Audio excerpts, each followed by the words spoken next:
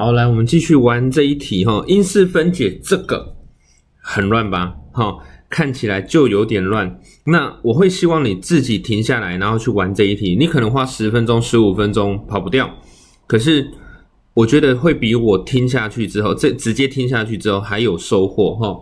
既然你已经因式分解写那么多基本题了，偶尔玩个一两题的难题很正常哈。那学校应该也会给你一堆因式分解的练习题目。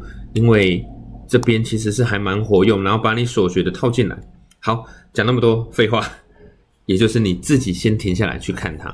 好，OK，好，再来因式分解它，我会怎么做呢？第一个，我一开始也会先去试，我可能觉得一二三四五六六个人到底谁跟谁一组，我一开始拿不定主意。好，但是我现在看到说，哎，这两个人啊，他都有 y 平方，对不对？那这两个人至少有 x 平方，这两个人至少都有 z 平方。我用次方高的去做分类。好，那这样子分类有没有帮助呢？好，我来看一下哈。第一个，嗯，我先把这一个写在前面，好不好？这两个人就会提出变成 z 平方乘上什么 x 加上 z。那你说，哎，老师啊，左边那一个嘞，提出负的 x 平方。可以吗？那负 x 平方提出来之后呢，就会叫做 x 加 z，对不对？那后面你可以提出 y 平方。好，我提出正的 y 平方，因为这样就会有 x 减掉 z，有没有明朗一点了？好，那前面的两个人记得是前面两个，后面是减的哦，不要搞错哈。前面两个，我再提出 x 加 z。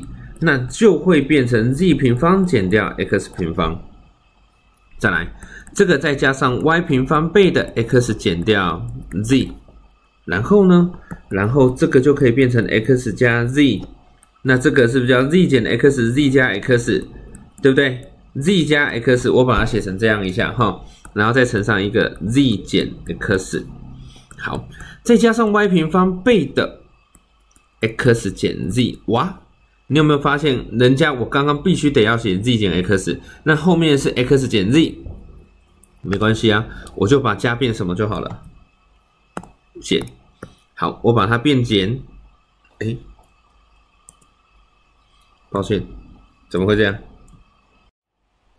好，所以这里就是减掉，那这边就把它变成 z 减 x。好，我重写了，然后。所以再把这里擦掉，这里变成 z 减 x，好不好？减掉，好，然后这里就变成 z 减掉 x，好，这个是刚刚我改变的地方。然后呢，我就可以把 z 减 x 提出来，然后就会变成什么？是不是剩下 x 加上 z 乘它的平方减掉 y 的平方？答案就出来了，哈。所以这个叫做 z 减 x 乘上。x 加 z 加 y，a 加 b 嘛，哈，x 加上 z 加 y，最后再乘上 x 加上 z 减掉 y，好，所以最后的答案是这边，z 减 x 乘上 x 加 z 加 y 乘上 x 加 z 减 y，这个就是因式分解的题目。